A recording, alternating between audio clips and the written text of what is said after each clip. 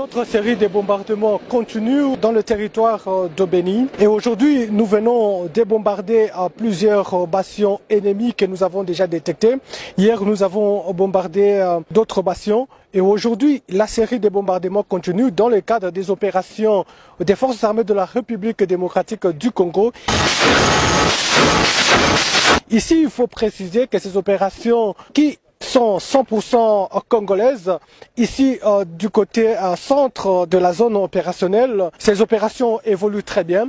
Aujourd'hui, avec euh, notre aviation, nous avons sillonné, marché, bombardé sur le bastion des ADF MTM déjà détectés d'avance et aujourd'hui nous les avons surpris à 12 heures pile l'heure même de leur prière nous les avons surpris et nous sommes sûrs et certains que le Congo et ses habitants remportent la victoire ces jours-ci sous la grande vision du commandant suprême des forces armées de la République démocratique du Congo.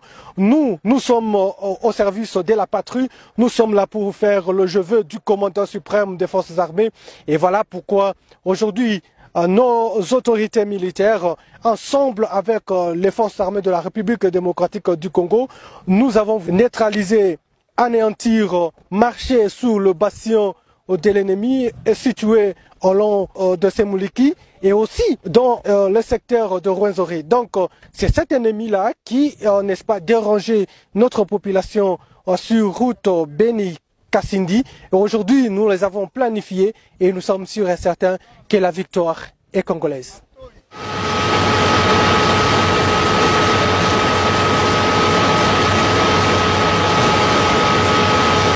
Ils ont pris la, fuite vers le parc national de Virunga, et probablement vers le Rwanda et d'autres vers l'Ouganda. Nous sommes en train de faire le ratissage à l'intérieur des limites nationales pour voir s'ils ne se cachent pas encore dans les forêts.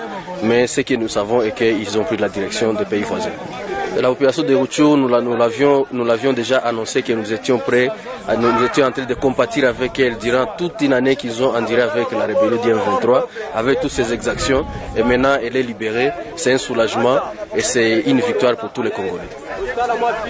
Ce qui va se passer, c'est que ça, ce n'est qu'une grande étape, bien sûr, bien que ce n'est pas encore la fin de, la guerre, parce qu'il y a encore d'autres groupes armés qui détiennent encore les armes euh, sur, le, territoire congolais et que nous allons pouvoir aussi désarmer par la force s'ils ne veulent pas obtempérer à notre appel de déposer pacifiquement.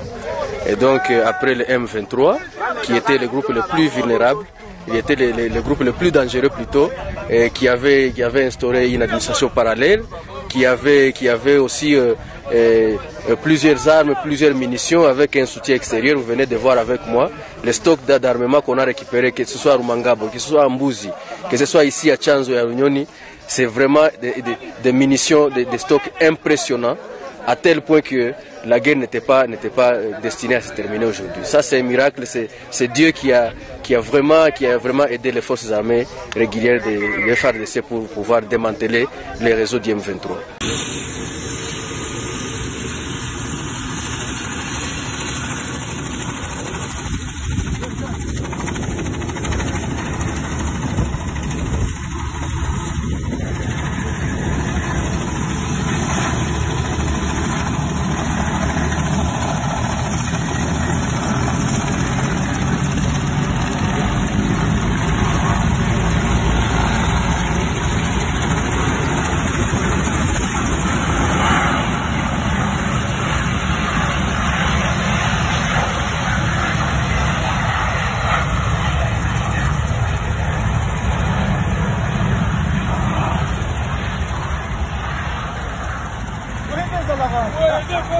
Good.